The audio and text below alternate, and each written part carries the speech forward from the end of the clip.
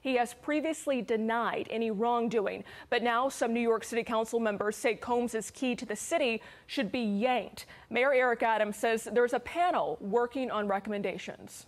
We've never removed the key from anyone before. Uh, we want to make sure we do it right because now we're going to set precedent, and we want to make sure we're going to do it right.